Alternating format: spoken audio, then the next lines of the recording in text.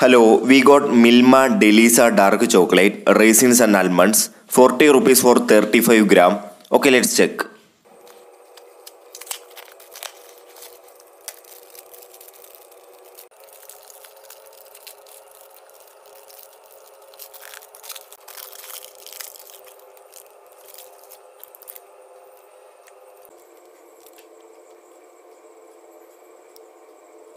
Okay friends, 8 pieces comes in medium thick, not too thin and a decent amount of nuts and raisins is there and it gives a roasted type crunch, a below medium bitterness and not creamy but this raisins and roasted nut makes this dark chocolate a little bit more satisfying one.